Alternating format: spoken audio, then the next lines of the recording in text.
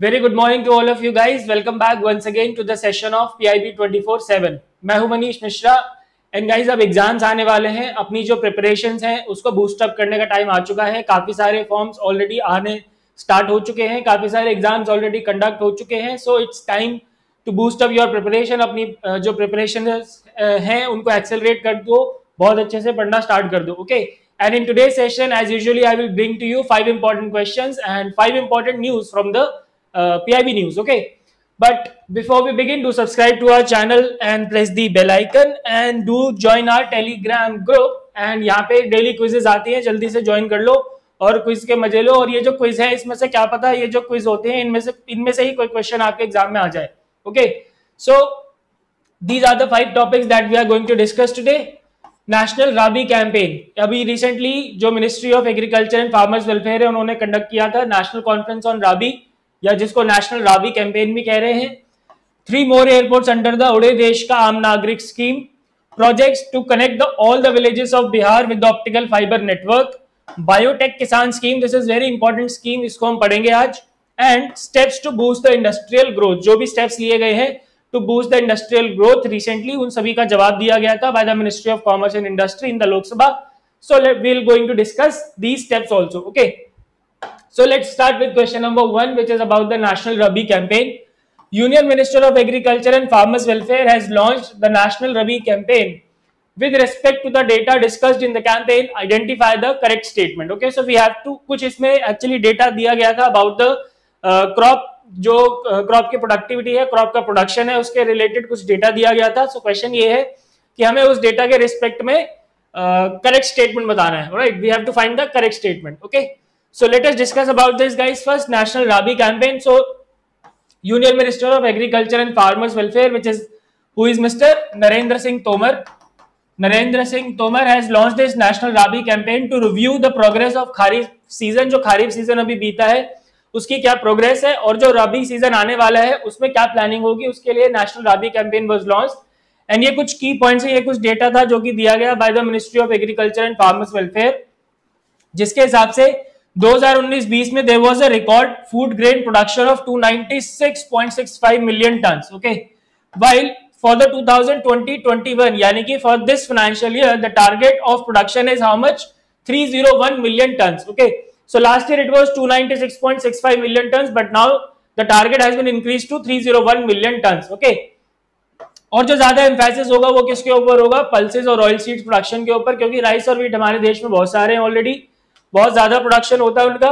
Pulses और oil seeds के ऊपर अब पूरा एम्फेसिस दिया जाएगा, पूरा ध्यान दिया जाएगा, पूरा फोकस दिया जाएगा with a target of 25.6 million ton of pulses and 37 million ton of oil seeds का प्रोडक्शन का टारगेट रखा गया है in this national rabi campaign okay and what are the plan for the rabi season so ये जो plan है, इनका यूज़ ये ऑब्वियसली गाइस एमसीक्यू में नहीं पूछा जाएगा। इन पॉइंट्स का यूज़ आप अपने एसए वाले पेपर में कर सकते हो।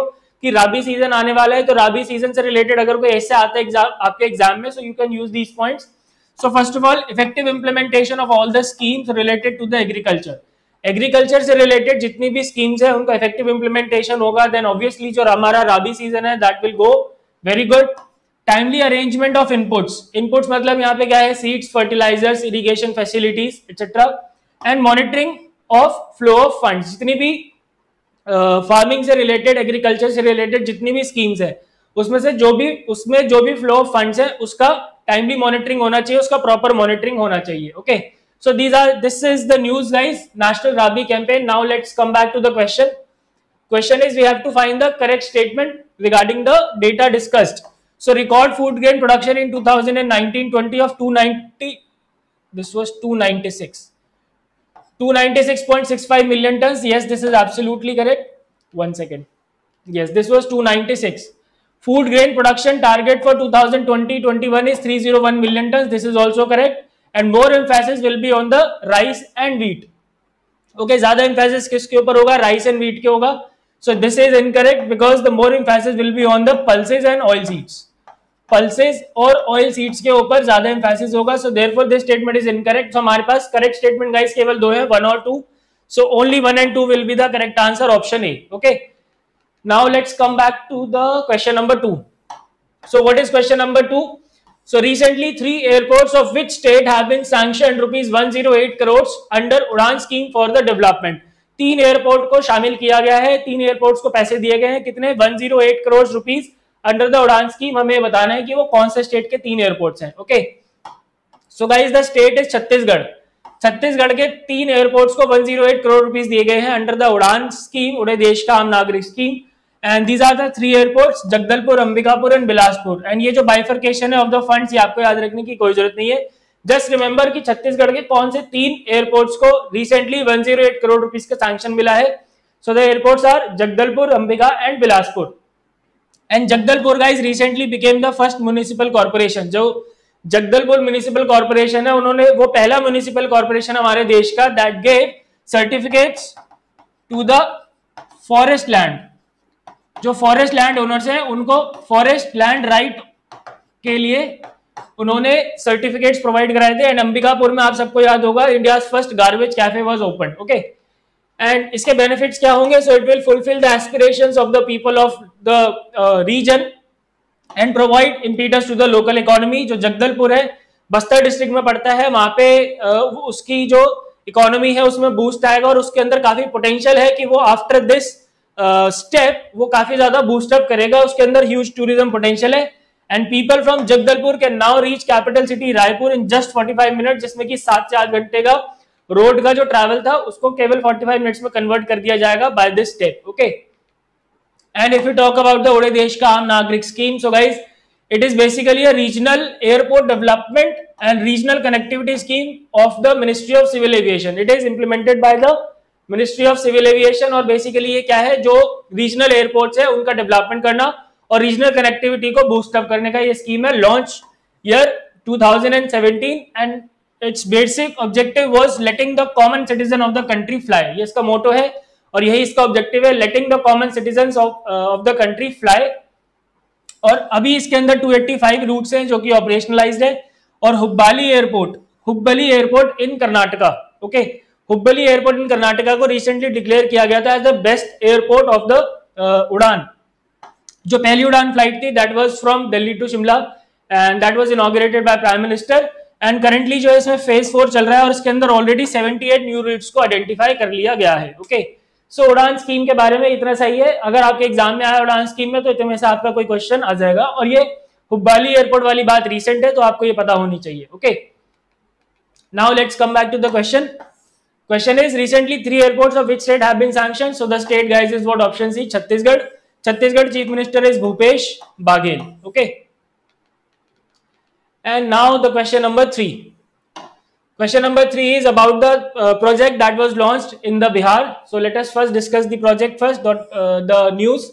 So there was a project to connect all the villages of Bihar by optical fiber internet service. Bihar में इलेक्शंस आ गए हैं तो बहुत सारे प्रोजेक्ट्स लॉन्च किए जा रहे हैं सो so, सारे प्रोजेक्ट्स आपको याद रखने की ज़रूरत नहीं है यस दिस प्रोजेक्ट थोड़ा सा इंपॉर्टेंट लगा मेरे को so I I am bringing it to you so recently हुआ क्या है प्राइम मिनिस्टर ने लॉन्च किया है the project to connect all the 45,945 villages of Bihar with the optical fibre internet service under the Bharat net project अगर आपको याद हो तो एक भारत नेट प्रोजेक्ट चल रहा है।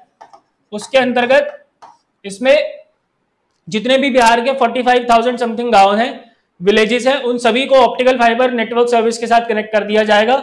और ऐसा इसलिए क्योंकि प्रधानमंत्री ने 15 अगस्त 2020 जो इस साल का हमारे इंडिपेंडेंस डे की स्पीच थी प्राइम मिनिस्टर की उन्होंने अनाउंस किया था दैट जितने भी सिक्स लाख विलेजेस है in fact more than six lakh villages जो बच गए हैं for connecting to the optical fibre internet service that will be covered in the next thousand days अगले हज़ार दिन के अंदर उन सभी छह लाख गाँव को कवर कर लिया जाएगा okay and let's talk about the project अब इस प्रोजेक्ट में से आपको सारी चीज़ें याद रखने की ज़रूरत नहीं है, ये सिर्फ़ एक बेसिक अंडरस्टैंडिंग के लिए है।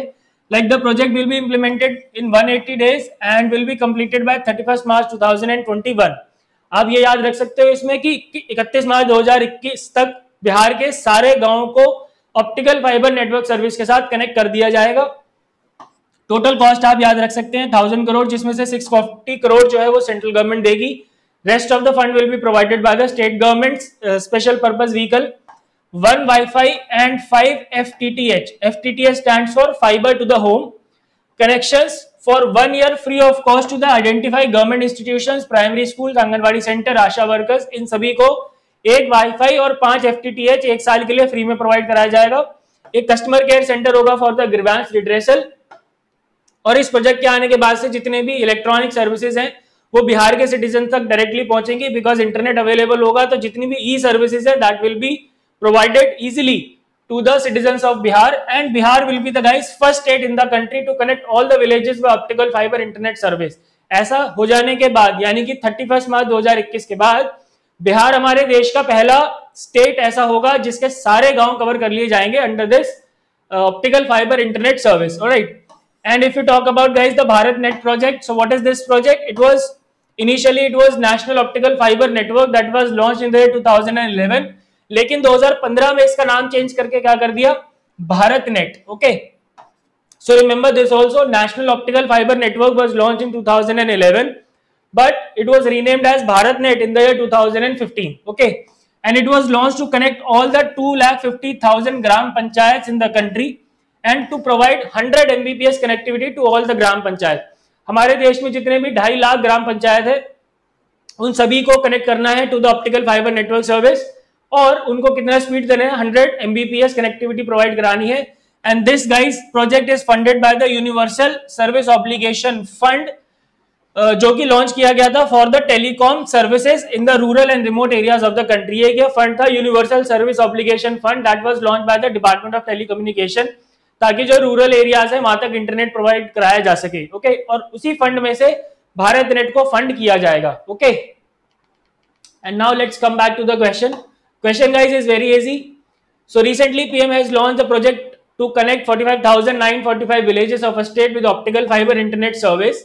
After the completion of the project, this state will be the first state in India to connect all the villages with the network. Identify the state. So the state is Bihar and Bihar will be the first state uh, जहां पे सारे गांव जो है वो connected होंगे with the optical fibre network okay so this answer is what option B Bihar and now the next news the next question The next question is about guys the uh, steps taken by the government of India to boost the growth of industry. So we have to find the incorrect statement regarding the steps taken. Okay.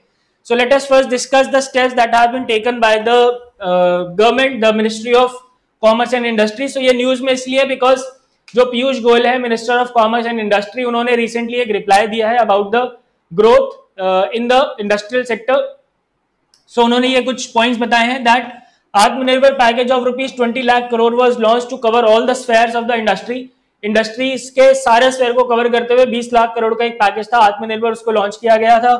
Higher FDI cap introduce किए गए हैं announce किए गए हैं। In almost all the sectors सभी sectors में जो FDI है, उनकी लिमिट्स को एनहांस कर दिया गया है ताकि ज़्यादा से ज़्यादा फॉरेन इन्वेस्टमेंट आ सके हमारे देश में।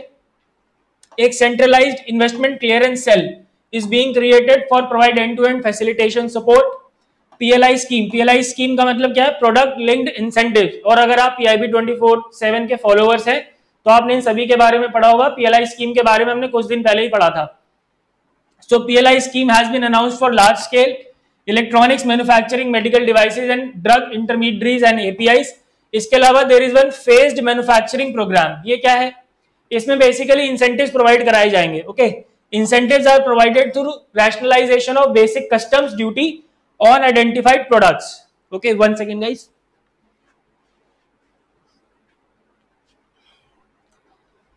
All right, and we all know that there is one national infrastructure pipeline that was launched with a total funding of rupees triple one lakh crores. Total funding कितनी है इसमें ट्रिपल वन लाख करोड़ की जिसके through एक world class infrastructure develop किया जाएगा by the government of India for enhancing the livelihood for enhancing the life of the citizens of india okay So, these are some steps, guys, that have been taken by the Ministry of Commerce and Industry to boost up the industrial sector and in points का आप कैसे use कर सकते हो? Again अगर direct question आ गया तो well and good otherwise आप इन पॉइंट्स का यूज़ कर सकते हैं एसेज में. बिकॉज़ ये काफ़ी इंपॉर्टेंट और काफ़ी कॉमन सा भी है.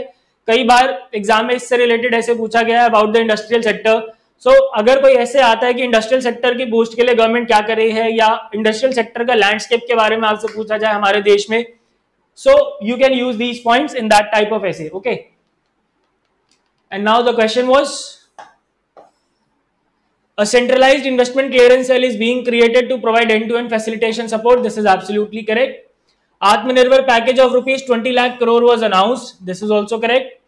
NIP with a total expenditure of rupees 100 lakh crore. No, guys, it is not 100 lakh crore.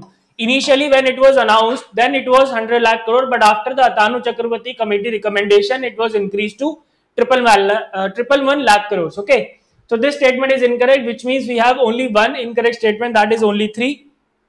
Option C, only three will be the correct answer. Okay. And now the last question, guys, for today, which is about the Biotech Kisan scheme. अब ये scheme news में थी because recently जो ministry of science and technology है उन्होंने एक reply submit किया था इन the Lok Sabha About the development of the scheme so development of the scheme में उन्होंने कुछ खास डेटा नहीं दिया so will discuss the biotech Kisan scheme only because क्योंकि ये रिसेंटली न्यूज़ में है सो so इसमें से क्वेश्चन पूछा जा सकता है। Okay so what is this biotech Kisan scheme let us first discuss this so biotech Kisan and Kisan guys stands for Krishi Innovation Science Application Network. And remember one thing ये मैं आपको पहले बता देता हूँ since the scheme is all about the kisan okay so हमारा दिमाग कहेगा कि yes this scheme is implemented by the ministry of agriculture and farmers welfare but no this scheme is implemented by the ministry of science and technology ठीक है, अब इसको कैसे याद रखेंगे? बिकॉज़ ये जो स्कीम है, ये बेसिकली ये है कि जो फार्म सेक्टर है, उसमें कैसे हम बढ़ावा, उसको कैसे बढ़ा सकते हैं? With the help of scientific intervention so इसमें जो बात है, वो साइंटिफिक इंटरवेंशन की हो रही है. So this scheme is all is implemented by the ministry of science and technology. और अगर आपको इस किसान की फुल फॉर्म पता है कृषि इनोवेशन साइंस एप्लीकेशन नेटवर्क तो इसमें एक वर्ड आता है साइंस नाम का। सो so, इस साइंस नाम के वर्ड से भी आप अंदाज़ा लगा सकते हो that this scheme is about is implemented by the ministry of science and technology okay so remember this guys ये क्वेश्चन काफ़ी इंपॉर्टेंट है एग्ज़ाम में पूछा जा सकता है। सो so, इसका ऑब्जेक्टिव क्या है? To understand the problems of seed, soil, water, and market that are faced by the farmers, and to provide easy solutions to to uh, to provide easy scientific solutions to work with small and marginal farmers, especially women. इसमें women के ऊपर focus किया जा किया गया है मतलब यहाँ पे women empowerment की बात है for better agricultural productivity through scientific intervention. Okay. And ministry मैंने जैसा आपको बताया था Ministry of Science and Technology It was launched in the year 2016. So this is another scheme that we are going to, that we are covering right now. एक और scheme आपके जो government scheme वाला सीरीज़ है, उसमें add on हो गई यहाँ पे। सो लॉन्च ईयर क्या है? 2016 and these are the basic features so it is for the farmers and by the farmers what is the meaning of by the farmers so इसमें बेसिकली ये होता है कि जो किसान है, जो फार्मर्स हैं, उनको भी इंक्लूड किया जाता है in the scientific intervention they are also trained that they are also trained for the scientific interventions which are required for the farming women empowerment की बात है इसमें is the the global connect will be provided to the farmers how जितनी भी global practices हैं best practices हैं of the agriculture उनसे किसानों को रूबरू कराया जाएगा it will connect farmers in the 15 agro climatic zones of the country जितने भी हमारे 15 एग्रो क्लाइमेटिक जोन्स है कंट्री के उन सभी के उन सभी इलाकों के किसानों को कनेक्ट किया जाएगा and there is hub and spoke model basically hub and spoke model है इसमें क्या होगा? एक ऑर्गेनाइजेशन होगी बड़ी। वो छोटे छोटे साइंस लैब कृषि विज्ञान केंद्र इन सभी से कनेक्ट करेगी। एंड वो जो साइंस uh, लैब्स और कृषि विज्ञान केंद्र होंगे they will connect to the farmers the hub will reach out to the farmers in the region and connect them to scientist and institution so in each of these fifteen region a farmer organisation will be the hub connected to different science labs Krishi Vigyan Kendra and these hub will reach out to the farmers to connect them to these scientific institutions. All right. So this is guys about this news. And now let's come back to the question number 5 it is implemented by the ministry of science and technology. This is absolutely correct. Its objective is to boost agricultural productivity to, uh, through scientific intervention. This is also correct. And it was launched in 2016 this is also correct. So option e guys all are uh, none is incorrect. So we have to find the incorrect statement. All right None is incorrect will be the correct answer option D. Okay. And guys, that's it for the session today. I hope you like it. For more updates, do subscribe to our channel and press the bell icon. और ऐसे sessions के लिए आप हमारा paid course join कर सकते हैं of RBI SEBI NABARD and UGC NET आपको ये सेशन कैसा लगता है गाइस प्लीज़ कमेंट करके ज़रूर बताया करो बिकॉज़ मुझे पता ही नहीं चल पा रहा कि आपको चीज़ें समझ में आ रही है या नहीं आ रही है thank you so much for watching मिलते हैं कल के सेशन में goodbye take care and God bless